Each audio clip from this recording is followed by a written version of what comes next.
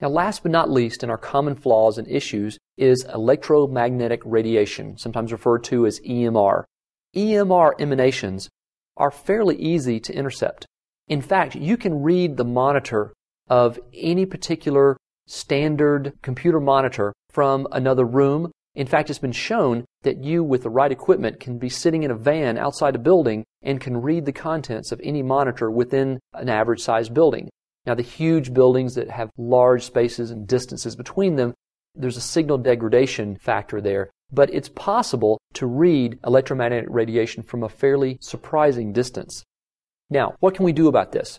Shielding and physical controls can avoid interception. Now, the physical controls effectively mean increasing the distance between any device that does emit EMR and the possibility of an intruder or some attacker getting close enough with the equipment to read the EMR. The farther away the equipment is, the less likely it is that you'll be able to intercept.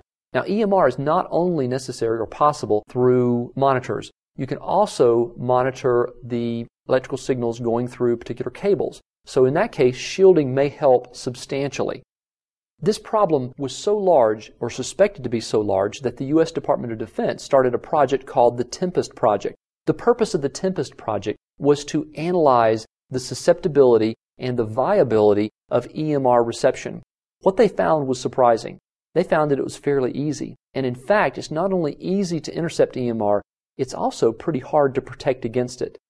The best you can do is to shield any EMR emissions as best you can and attempt to use physical controls to keep attackers away as far as possible.